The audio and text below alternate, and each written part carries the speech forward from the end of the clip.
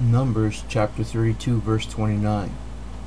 And Moses said unto them, If the children of Gad and the children of Reuben will pass with you over Jordan, every man armed to battle before the Lord, and the land shall be subdued before you, then ye shall give them the land of Gilead for a possession.